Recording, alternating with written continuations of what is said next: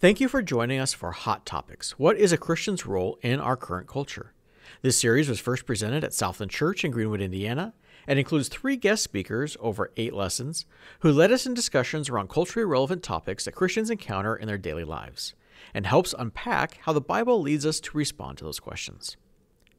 In our fifth conversation, Josh Hershberger led a discussion of sexual identity. Josh Hershberger is the founder of the Good Citizen Project, an organization that equips church leaders and other committed Christians to be gospel centered citizens that transform communities, states, and their nation through the power of the gospel. Josh is an ordained minister, attorney, author, and the host of the Good Citizen podcast. Well, it is great to be here with you this evening. As uh, Pastor mentioned, I am both a minister and an attorney. So people often ask me how I can serve God and the devil all at the same time. I know I, do appreciate your pastor. I appreciate uh, this church, and it is a great honor to be here this evening. So when I started my practice, I, I essentially hung a shingle. Not I got shingles. I hung a shingle, which is kind of a phrase in the law. And as part of that, I was representing a company that built agricultural pole, pole barns out in the country. Um, part of my job was go out there, kind of take a look at the site, make sure there weren't, were not any legal issues. So I pull up to the site one day, and I see uh, over here a husband, and he has a hammer in his hand. It looks like he's driving stakes into the ground to kind of outline this building. That all seemed normal. But then I looked over here, and close to the house was this woman who appeared to be the man's wife and she was holding a handgun. And the handgun was pointed straight at her husband. So it's one of those moments in life, I don't know if this ever happened to you, kind of time slowed down, right? And I'm, I'm sitting like, all right, number one, um, you know, he's, he's got this hammer, he's been threatening her, I need to go do something about this. You know, possibility number two, she's done. Like she's over this. It doesn't matter if she's taking care of business in the middle of the day with witnesses around. She's done with this marriage. And the third option was like, well, I'm just going to slowly back up here and go down the road and hopefully, you know, nobody sees me. All right. About that time, the wife notices I'm in the driveway. She gets red in the face and she throws the gun on the ground and she runs inside. And the, the husband sees me and he comes jogging over to the car and comes up and like taps on the window you know, slowly like rolling the window down with the whole like the customer's always right smile on my face, right? And uh, he's like, "Sir, sir, it's it's not what it seems to be." I'm like, "Oh, I'm sure it's not." and he begins to explain. He's like, "Look, I've got to get this building within 12 inches of grade, and to do that, I needed a laser, and only had one, and it was on the end of my pistol." So, what could possibly go wrong? You know, a very you know, level building, but also very difficult explanation to a judge and jury. Your Honor, I was just pointing the business end of the pistol at him to get the, bu- the building within grade. Um, so I, I, think everything was all right, and they worked out their, their differences. But that day taught me something important. Lasers are, are really powerful tools. They can help you, you know, level a building, defend your family, and they are oh so much fun if you have a cat. But we should also be circumspect about how we use a laser because things could go terribly wrong if we're not careful. When I think of that story, I think of the concept of human identity how we define ourselves, how we think of ourselves, the story that we tell about ourselves internally, and just how powerful that concept is. That if, properly focused, if focused through God's Word, it can be a powerful tool that drives us with purpose and meaning each day of our lives, but also can be co opted um, by our society, by falsehood. And so tonight I want to talk to you about an identity crisis. And here's the big idea the sexual revolution is transforming American moral norms concerning family and sexuality at uh, breathtaking speed. I'm sure this is not a surprise to anyone. And it's impacting our communities, our schools, even our homes and hearts. So, how should committed Christians navigate the cultural issues raised by the sexual revolution and especially the LGBTQ movement? Well, here's how. Tonight, I wanted to dive into kind of three things that I try to do in any presentation a little bit of just cultural analysis, uh, Uh, but then also what does Scripture say, and then just some practical tools, some practical thoughts on how we can apply these biblical principles well. My hope is to, to leave some time towards the end for about 10 minutes of questions. So I'm going to cover a lot of ground tonight, but if you have a question, kind of jot that down. Hopefully, we'll have a chance to get to it towards the end. Before I jump into any of that, though, I wanted to address kind of two things. The first one being all right, out of all of the issues that we could be talking about, why are we talking about this one? And a commonly asked question if I'm talking about this, this topic is well, why aren't we talking about other sexual sins? Why aren't we talking about poverty and other needs in our community? And one of the main reasons that I speak on this topic is let's say someone came up here and pointed the finger at me and said, Josh stole this iPad. They said, Look, that was my iPad. Josh stole the iPad. And I just stood here and they kept saying, Josh stole the iPad. And I said nothing in response. What would you assume? Now, certainly we have a right to be silent in the United States, but what would you assume if somebody accused me, somebody you knew and trusted, accused you time and time again, uh, accused me of stealing the iPad, and I said absolutely nothing in response? What would you assume? You would, you would assume I am guilty. And so I did not start this conversation. The issue of sexuality, of transgenderism, is in the news. It's on cereal boxes, it's on Disney Channel constantly, time and time and time again, telling us that what the Bible says about these topics is archaic or even worse, hateful. And if the church is constantly silent on the topic, it leaves those in this generation, certainly those in any generation, wondering does what the Bible, is what the Bible says true? And is it good? And so we're talking about it tonight, not because this is the only thing we have to say, but because culture, time and time again, throws this at the church as an example of why the Bible is not true or is not good. Also, why wouldn't I be speaking about this topic to you? Uh, for whatever reason, um, over the last five to six years, uh, this has been a part of my ministry. It began back in 2017 when I was asked by the Kentucky Bar Association to participate in a diversity and inclusion summit. I spoke from a Christian viewpoint alongside a gay activist and a transgender activist. And through that experience, I was able to kind of share my speech, but was, what was much more meaningful was I had an opportunity to have lunch or coffee with both of those individuals, hear their stories, begin to hear their arguments, their concerns with biblical Christianity. And ever since then, I've been asked to present on these topics in public life. I've also attempted to build relationships with those that disagree with us. And so that's a little bit of the background. Why are we talking about this? And then why am I specifically talking about it? As we move into this concept, I think there's kind of three things that we need to keep in mind. All right, what is the cultural moment? How exactly should we conceive of our particular cultural moment in relation to these topics? So, a couple of quick things. If you have a handout, I've left a blank there that you can take a look at. The first one is that we are experiencing what I might term a freedom fight. All right, if I had to boil down everything that's going on in culture into just kind of one idea, it would be the fact that we are experiencing a freedom fight. The United States was built on something called ordered liberty. It was the general idea that we flourish when we embrace who God has created us to be. So we're free to build a society, to build a life according to God's good design. Right? That was the definition, that was the idea of freedom. But now in our society, the definition of freedom has changed.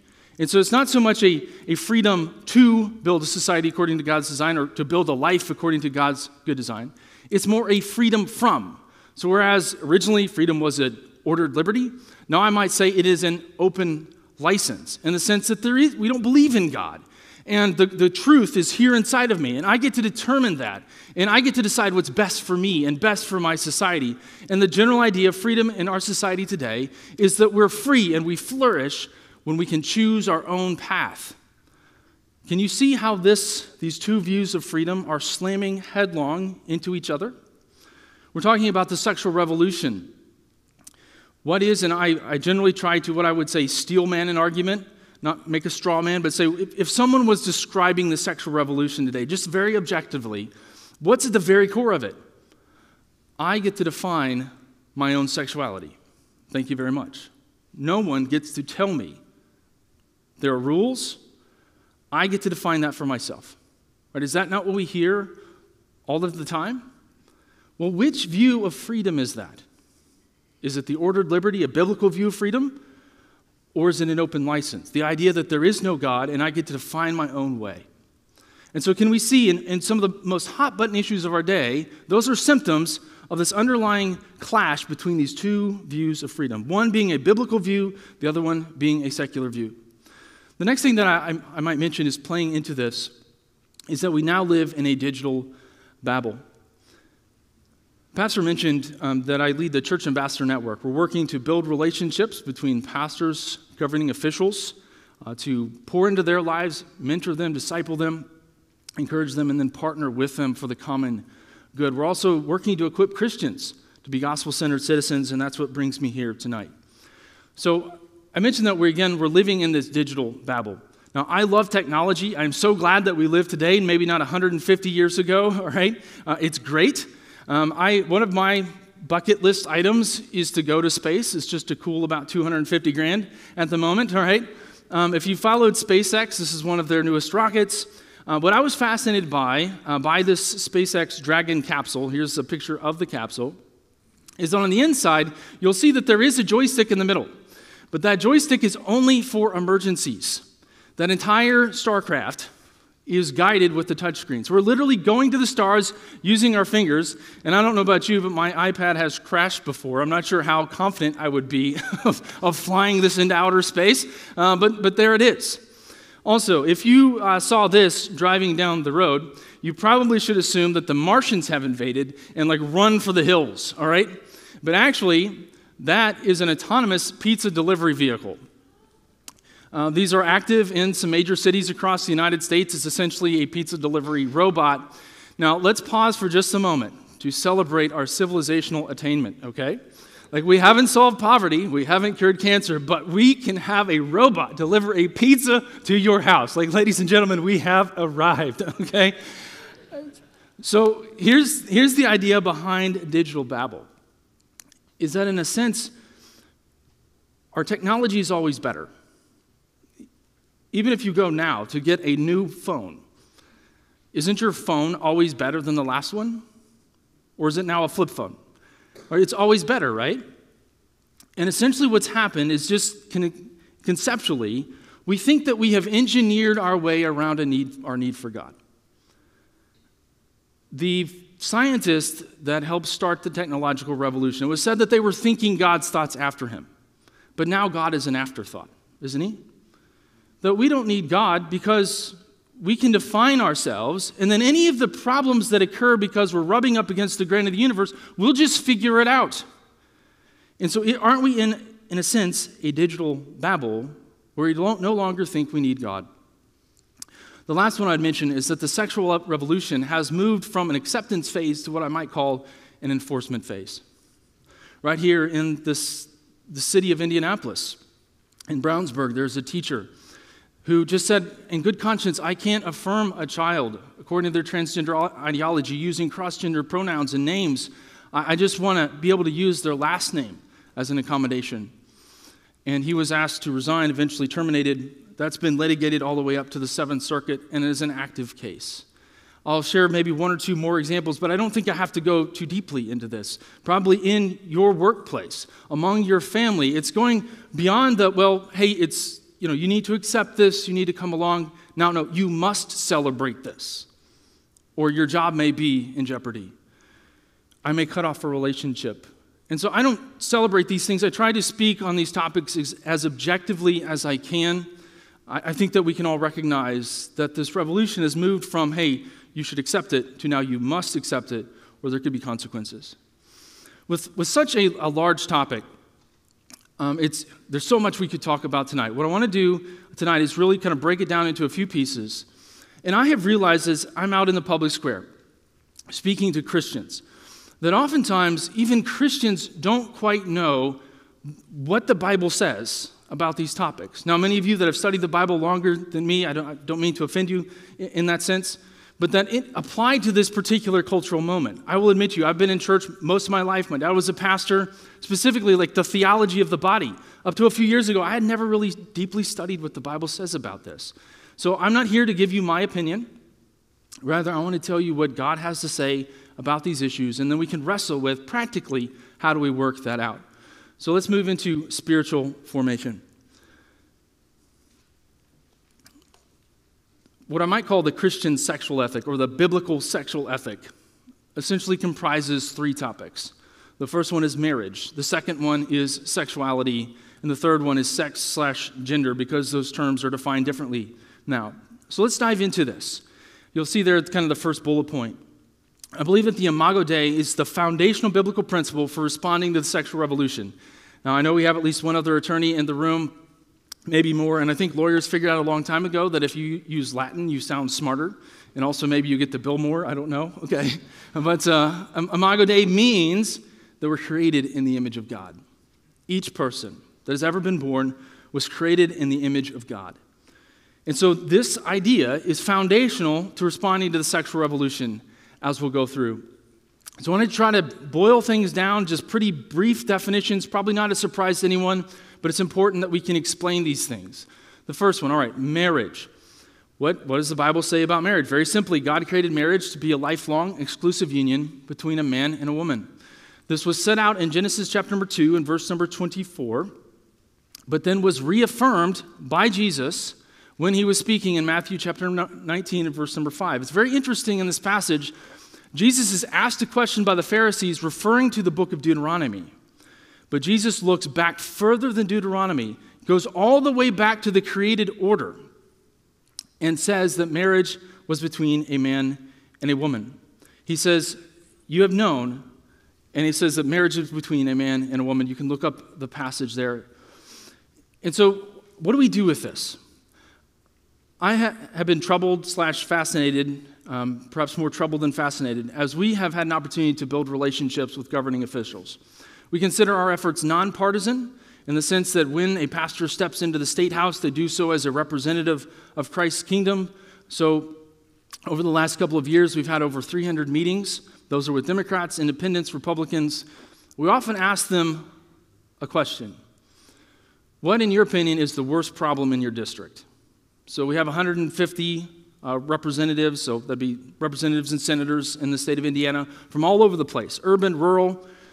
I would say 85 to 90 percent of those representatives, without prompting, said the same thing in using the same phrase. I asked them, What's the worst problem? They responded, The breakdown of the family. The breakdown of the family. So I'd say the breakdown of the family is one of the key problems facing our society.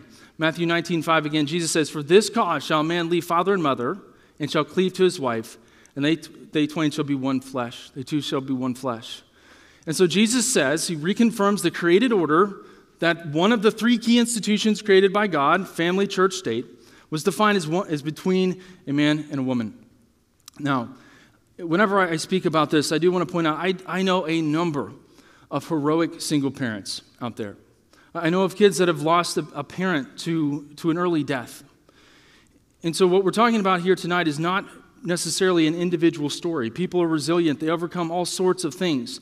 But as I've had conversations with those heroic single moms specifically, they've told me, I wish that that dad was still in the picture and that he was who God had created him to be. And tonight we're talking about society wide. Our society wide, what is best for human society? And it is for marriage be between a man and a woman. And that is what God set up. There's a, an interesting book called Them Before Us.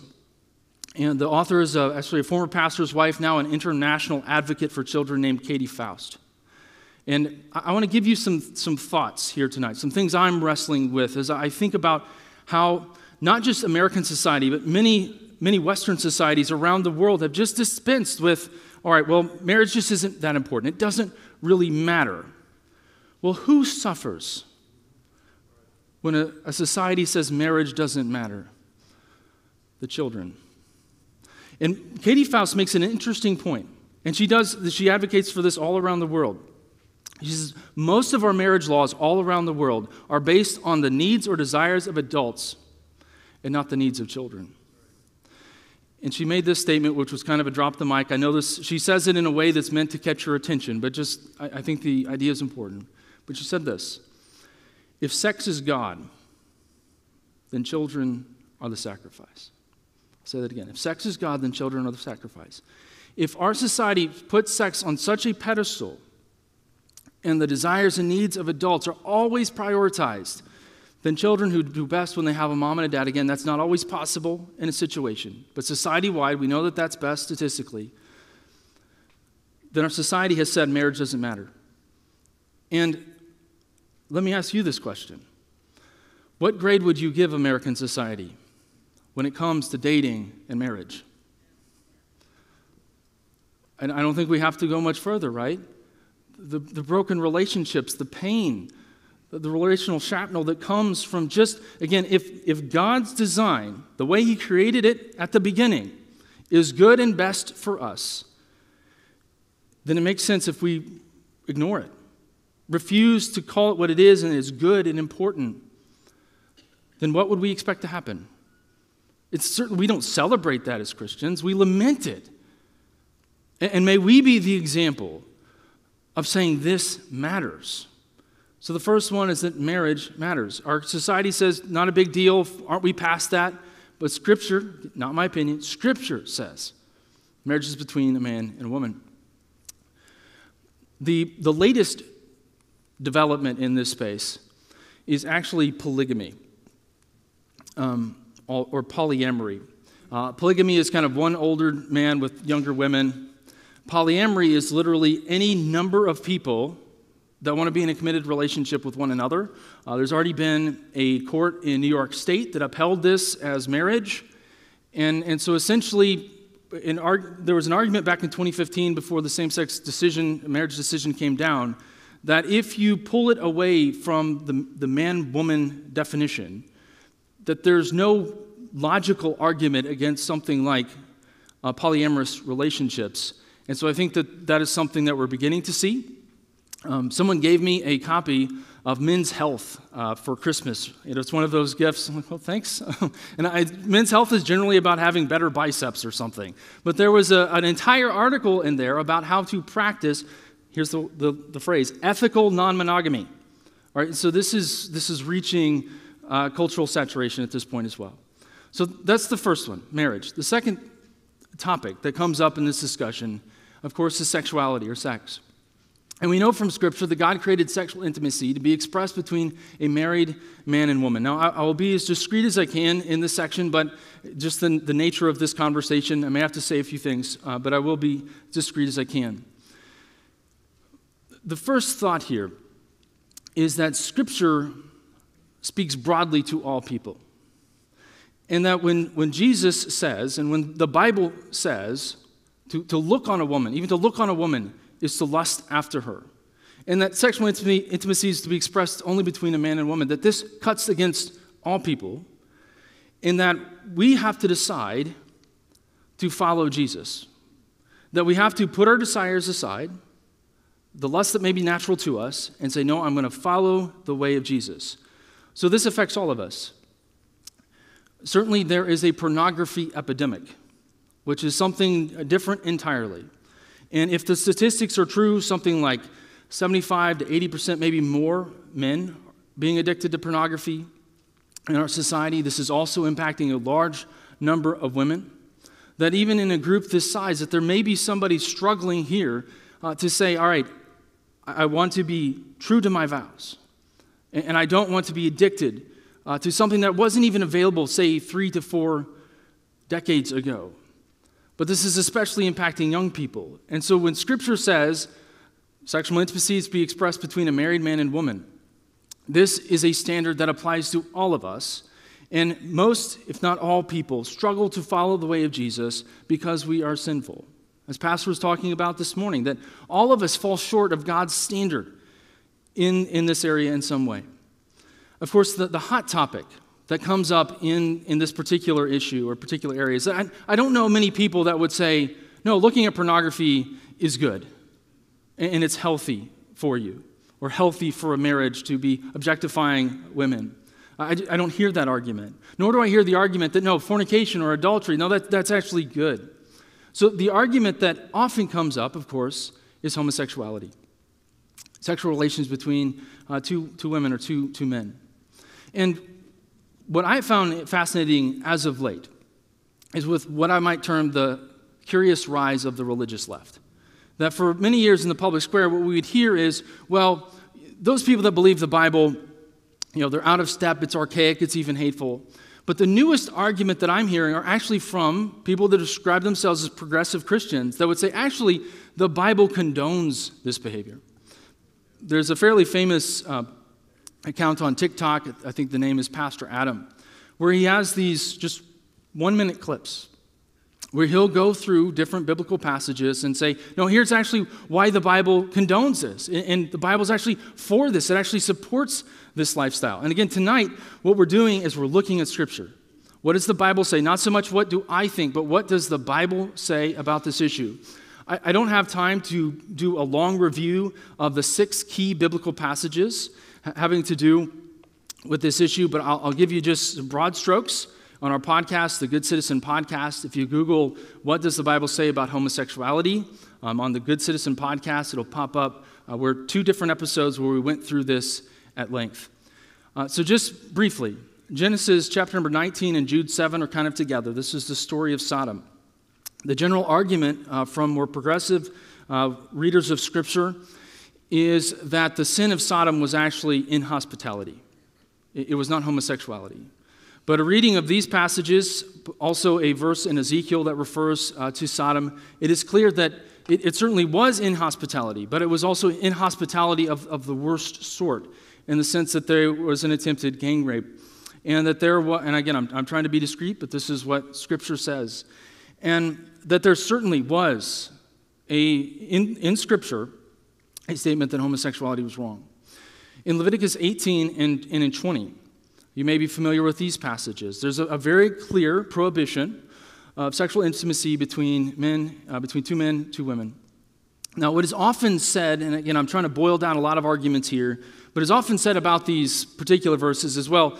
You know, you say that the Bible condemns homosexuality, but it also very close to that says you, you can't have uh, mixed fabrics in your clothing or you can't eat shrimp. And the, clear thing, clear, the, the key thing to understand with these passages is the difference between the ceremonial and the moral law. Sure, today, as, as a believer, I think I have the freedom to eat pepperoni or, or shrimp, but I don't have the freedom to go murder someone. All right? And, and so there's, there's some, some key uh, studies that you have to do there. So, what's the moral law? What's the ceremonial law?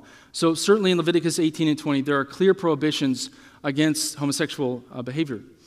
In 1 Corinthians chapter number 6 and in 1 Timothy 1:10, Paul lists homosexuality in lists of sexual sins, very clearly sets them out. And what's interesting is he uses a Greek word that essentially he coins a Greek word and refers to them as male betters, all right, and essentially someone that takes a male to bed. And he's using that language from Leviticus. And so he's directly linking that behavior back to Leviticus, saying, look, here's, here's what Scripture says about this issue. And there's an argument that the language in 1 Corinthians 6 and 1 uh, Timothy 1 is referring more to exploitative sexual activity, uh, such as slavery or rape. And certainly that is prohibited by those passages. But there's also broader language saying, look, any activity of this sort is against God's design. And of course, Romans chapter number 1 is a very clear statement he, Paul's saying, look, there are some that have refused God's natural order, that have refused God's creation. And he uses specifically the example of homosexuality in Romans chapter number one. Now, there are scholars that will argue Paul knew nothing of kind of loving, committed relationships. But remember that Scripture speaks very clearly that marriage is between a man and a woman, and that any sexual activity outside of that man woman marriage was prohibited by Scripture. Uh, so many of those in the, the more progressive readers of Scripture will simply say, well, Paul didn't understand psychology. He didn't understand what we now know about sexual orientation. And as believers, we have to always be careful when we're trying to conform Scripture to moral norms or cultural norms.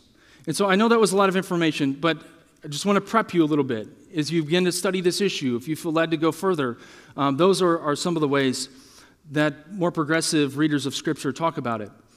For me, I come back to Mark chapter number 7 and verse 21 because it is often said, well, Jesus said nothing about homosexuality. But in Mark chapter number 7 and verse number 21, Jesus condemned, and the Greek word is porneia. You can hear the root word of pornography in that particular definition. And that would be a broader term that his audience would have clearly understood to prohibit a variety of illicit sexual practices, including adultery, fornication, prostitution, and homosexuality. Pull all of that together. I think just a very plain, clear reading of Scripture says marriage is between man and woman, and God created sexual intimacy to be expressed between a married man and woman, period. Now, this is something that, of course, is very controversial in our society. And there have been readers of the New Testament that try all of these different arguments to try to say, no, no, it's okay. But a simple reading of Scripture brings us back to these truths. And all of us have to wrestle with what the Bible says. I have a, a good friend that God's using in an incredible way. And a few years, had a chance to meet him, uh, was getting to know him a little bit better. And I, grew up in a, a, more conservative background, and so I had, had not had a lot of these conversations yet. So I was talking to individuals, trying to figure out these topics. What, what should a faithful Christian do? And my friend, as we were getting to know each other, he shared with me one day, and I appreciated his candor. And he kind of told me his spiritual journey. He said, Look, Josh, I have wrestled with same sex attraction my entire life.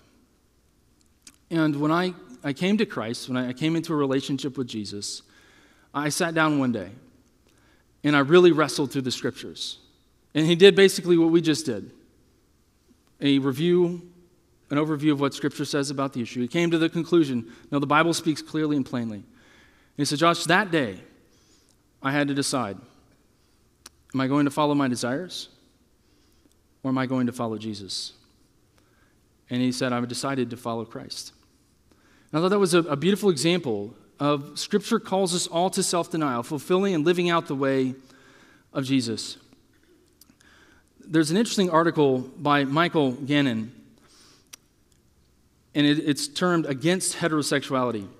It's, Michael is actually a, a Catholic scholar, and he brings up some interesting, important, uh, but also sad history in that the idea of, of sexual orientation or of being gay was actually created by the church to, in a sense, stigmatize people that wrestled with this particular sexual sin, to say that it was some sort of kind of super sin, or, or that it, was, it had a greater ick factor than the rest of the, the sexual sins. And that it was that idea brought on by the church that actually backfired. And now culture says, well, if this is who I am, then why can't I express myself this way? And this points us to a really important biblical principle. And that is that Scripture calls all of us to deny ourselves. That the, the, kind of the core of discipleship is denying ourselves. It says in first, chapter, in first Timothy that we are to flee youthful lust, to, to flee fleshly lusts. And that, that God will help all of us as we wrestle with these issues to follow Jesus.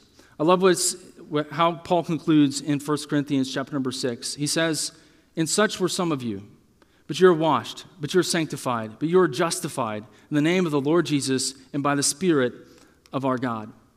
So as we reach out to other people, hear me clearly. I, have told you I, I believe Scripture speaks very clearly on these topics, but it also gives us a heavy dose of humility in a sense that we ourselves fall short of the standard that God has set for us.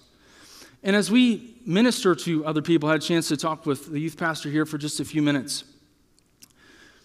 That because this is such a hot button topic in our culture, when we meet somebody, especially a family member that, that may be wrestling with these issues, maybe identifies as homosexual or as transgender, it's very easy, like the first thing that we talk to them about is this.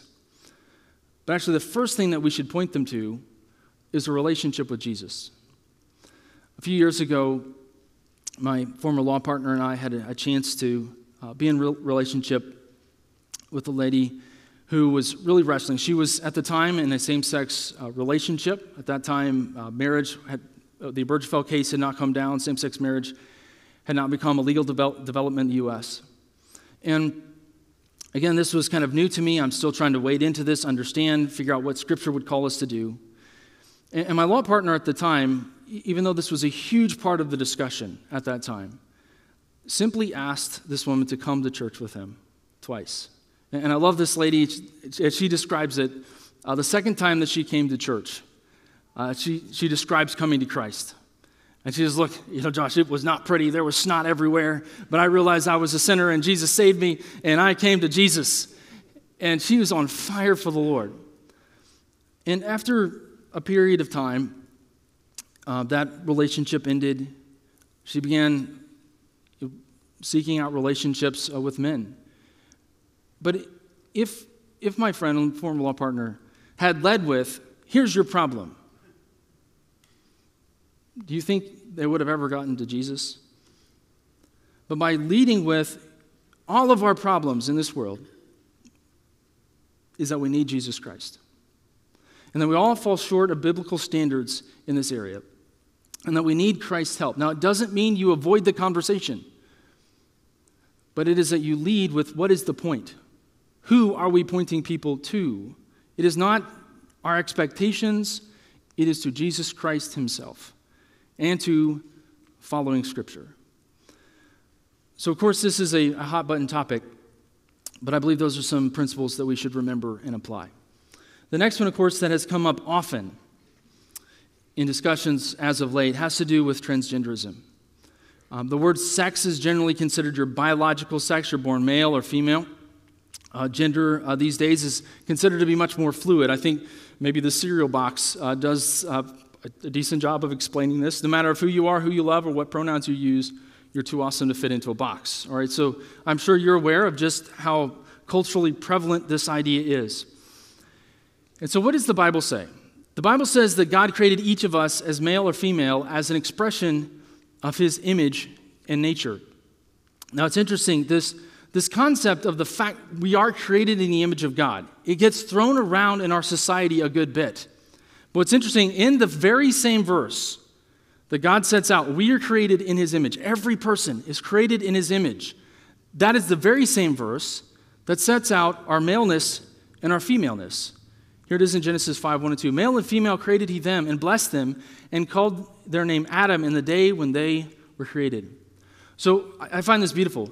There is something about our maleness and our femaleness, not separately, but together that reflects the image and nature of God. That is what Scripture says. So, a, a couple of quick things to think about. I mentioned to you, I had not studied kind of the theology of the body, what the Bible says about the body. But when I did, I found it absolutely beautiful. So, what are a couple things that we need to know about our bodies? First, our bodies are intentional. That God created us as intentionally as male or female. I love uh, Psalm 139. You may remember these verses. I'll praise you, for I am fearfully and wonderfully made. Marvelous are your works. My soul knows right well. My substance was not hid from you when I was made in secret and curiously wrought in the lowest parts of the earth. Your eyes did see my substance, yet being imperfect. And in your book, listen to this, all my members, my body parts, were written, which in continuance were fashioned, when as yet there was none of them. So, from the foundation of the world, God knew us. And in our mother's womb, God intentionally fashioned us down to our chromosomes, down to our body parts. And He intentionally created us who we are, as male or female. And so, the, the going idea that you're in the wrong body, that your body doesn't matter, is not biblical. What the Bible says is that we were intentionally created as embodied beings, and that being male or female is a part of His plan for us. So, on one hand, it is you're a cosmic hiccup, right? A bunch of moon dust. And out of millions of years, somehow you came to be, and there's no real purpose. And the fact that you're in a male body or female body has absolutely no, no bearing on your life. It could be a huge mistake. The universe is cruel. What Scripture says is no, no, no. You're intentionally created as male and female, and a loving God knit you together in your mother's womb. The next thing is that our body is essential. That we are created as both body and soul. In 1 Corinthians 6:19 it says this, what? Know ye not that your body is the temple of the Holy Ghost, which is in you, which you have of God, and you are not your own, for you're bought with a price? Therefore, glorify God. I'm pausing for effect. In your body, and in your spirit, which are God's. You see, transgenderism is kind of a form of new Gnosticism. If you are familiar with Gnosticism in the first century, it was essentially a belief that physical things don't matter, only spiritual things matter, and that your physical body has, has no particular purpose. What Scripture says is that your, your body is, you're created as both body and soul, and that your body isn't just a part of you, but your body is you. That we're called to glorify God, not just in our spirit, not just in our spiritual part, our heart, or, or whatever it is inside of us that we're supposed to follow these days, right? But no, not just your spiritual part, but your physical part. You're supposed to glorify God in your body. The last thing is that our bodies are eternal. Uh, are eternal. Romans 8:22 it says, "Not only they, but ourselves also, which have the first fruits of the Spirit, even we ourselves groan within ourselves, waiting for the adoption, to wit, the redemption of our body. We believe as Christians that one day we will get a glorified body in eternity. So God's eternal plan for you includes your body. So to kind of put these back to back, culture says that your body is like a canvas for self expression. It's, it's like a iPhone case. You know, bedazzle that thing, make it black, make it blue, whatever you want to do. It's yours, it's a canvas for self expression. Well, what does the Bible say? The Bible says that your body is the temple of the Holy Ghost. And so, just kind of wearing that a little bit. And what are we telling the next generation? That again, you're a cosmic hiccup, there's no purpose, and if you feel like this is an accident, then you can just change it. Versus, you were created by a loving God in eternity past, He knew you. And He knit you together in your mother's womb. And He has a specific plan and purpose for you. And it includes your body, and it includes the fact that you are male or female. God knew that, and He planned that. I find that beautiful. The last question, as we kind of close this review of the Christian sexual ethic, and again, I said I wanted to focus on that today, is are we confident that what the Bible teaches is both true and good. And not just good for us, but good enough that we would go out into a culture that doesn't believe it and say, no, this is still true and this is still good. So let's dive next into some internal decisions. And I'm speaking here specifically about family decisions, about church decisions. And so, how, how should we go about dealing with family members or, or people in our church, even maybe people in our workplace that come to us and say, Look, I am in a committed homosexual relationship. I'm transgender. Like, how, how do we deal with this? The first thing that I would mention to you is the difference between a question and a quarrel. A question and a quarrel. In my experience, many students, uh, even many people these days are pulling information from everywhere. And isn't that the problem, right? Information everywhere. There's no real authority. Who do we trust anymore? And so the difference between a question and a quarrel. Sometimes in a, a ministry, uh, or even in a family, there can be kind of this knee jerk reaction if somebody says this because of just the cultural um, issues around this, the, the angst, the, the controversy. And so there can be kind of this knee jerk reaction. I think it's important to ask the question well, is this, is this a question? Is this somebody that is searching, that's trying to determine what's good and what's right? And then the quarrel is somebody that wants to pick a fight. All right? And they're out there, they're fully promoting this. They think that you're a terrible person because you believe the Bible. So, can you see how answering a questioner like they are quarreling with you could have a very bad effect on a situation? And so, trying to determine what is the situation and how should we respond?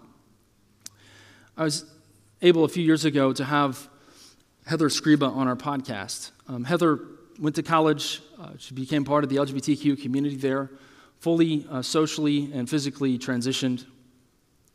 And in her own words, uh, if you understand this, this community, when, when someone has top surgery, that it's, it's almost like a sacrament. Or it's, there's an unveiling, and it is like you are now the true you. All right, so it has really great significance. And these are, again, Heather's words, not mine. You can, you can look up the podcast and listen to it. But she just said, but at this reveal, when again, she's supposed to be her true self, she said she looks in the mirror, she looks at her friends, and she said she realized that she had made a soul level change, or a skin level change, a skin level change that did not solve her soul level angst. She made a skin level change that did not solve her soul level angst. And it was a sermon about the fact that she was not just God's child, but God's daughter that brought her back into a relationship. She now lives as Heather um, and is telling her story. And I asked Heather, all right, say there's a family member that comes uh, to me, or, or there's a, a, student in youth group or a student at Christian school that comes to a teacher or comes to a parent and says, Uh, I believe that I'm gay, I believe that I'm transgender. What would your advice be?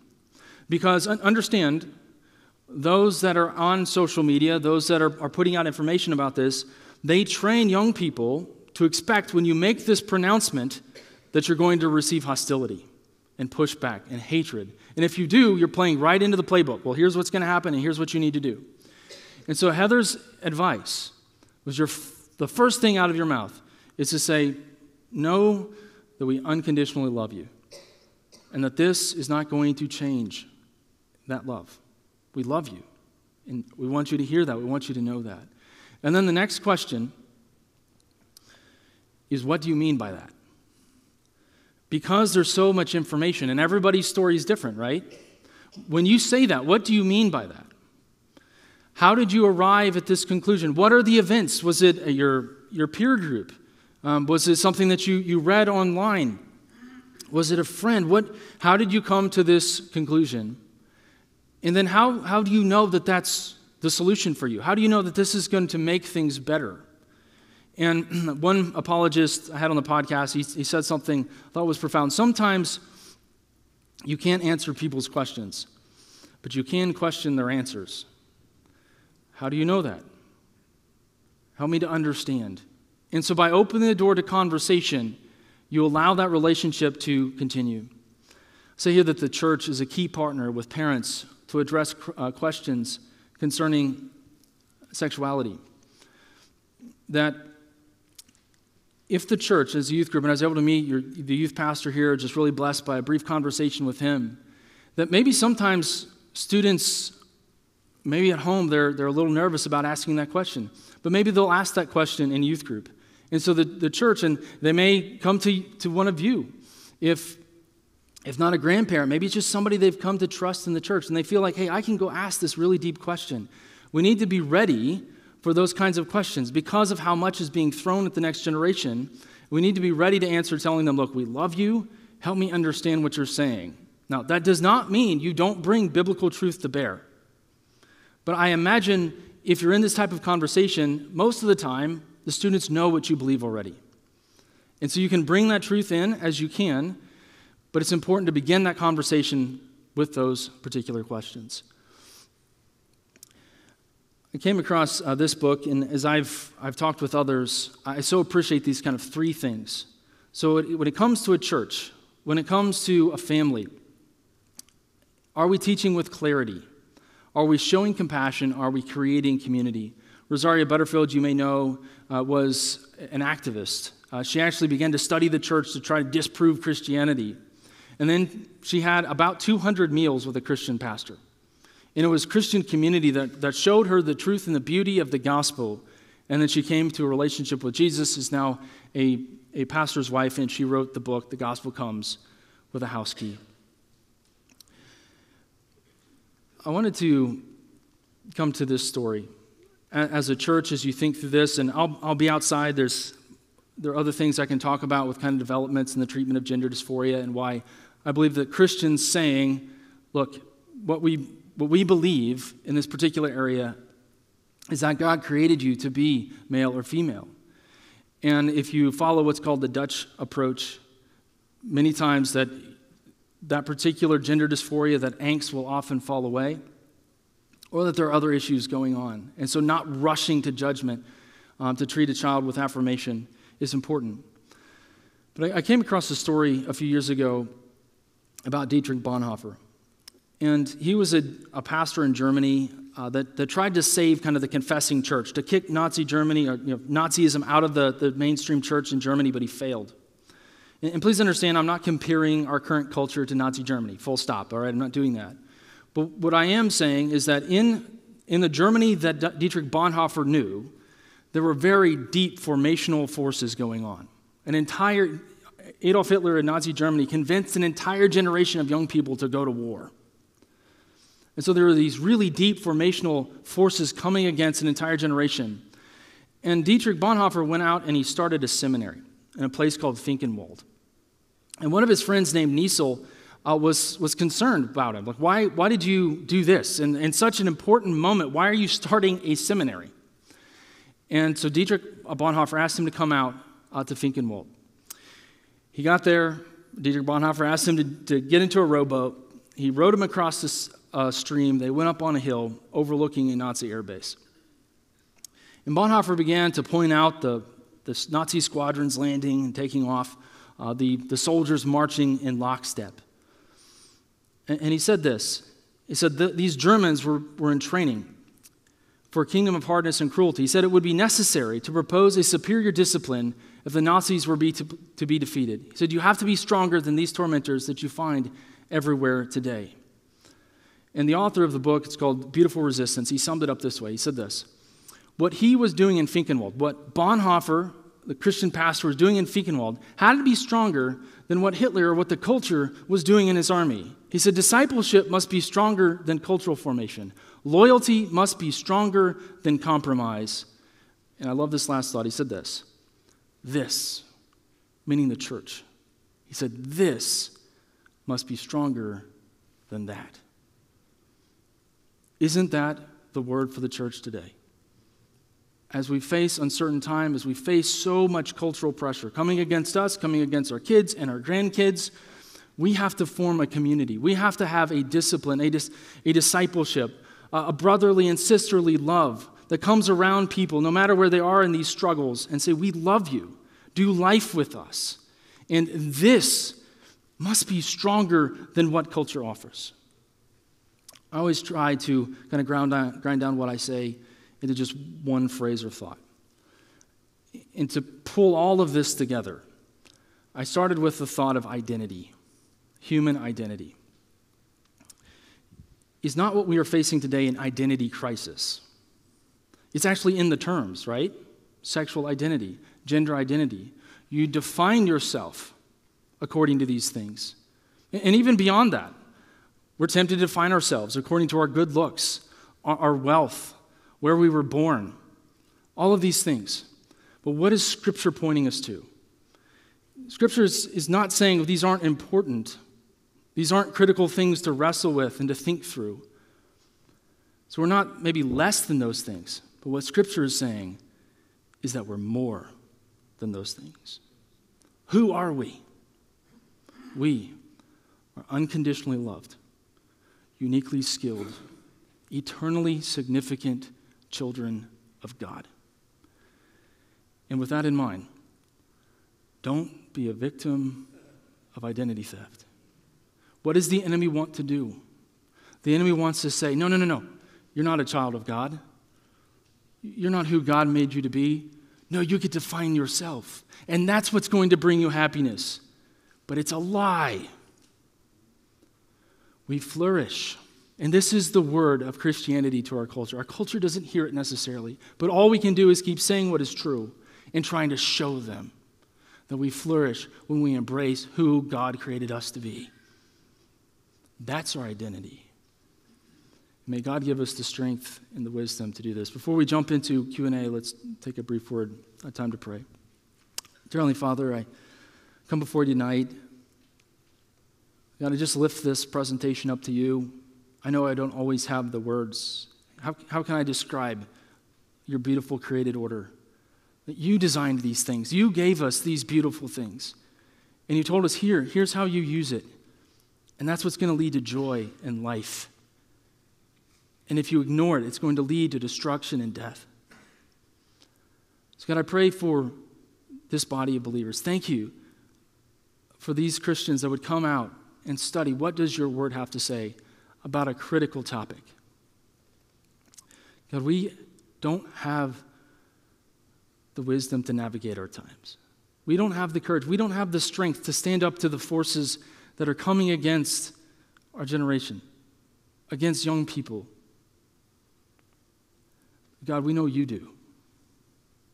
So, God, please give us the courage. Maybe even more importantly, give us the wisdom to know when to ask this question, when to ask that question. Yeah, we know that wisdom is from above, and we ask for that tonight. Thank you for this body of believers that is dedicated to your word in this space. May you help us as we go out and attempt to influence our families and our community. We pray this in Jesus' name. Amen. We may have just a few minutes uh, for a couple of questions. So there's some water for you, Josh. You. I'm sure you could use that.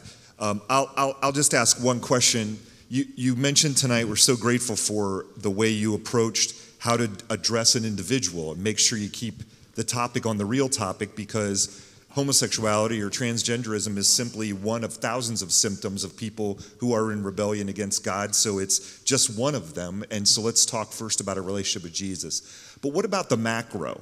Mm-hmm. You know, what, what should we be expecting of ourselves in terms of influencing the culture at large? For instance, government or legislation. Mm-hmm as it relates to the issues of homosexuality or transgenderism. Yeah, and so you'll, you'll see on your, your page, there's a bullet point here. All people are made in the image of God and should be treated with equal dignity and respect. But disagreement is not disrespect, and conformity of belief should not be the price of citizenship. So, how do you love someone well? You tell them the truth.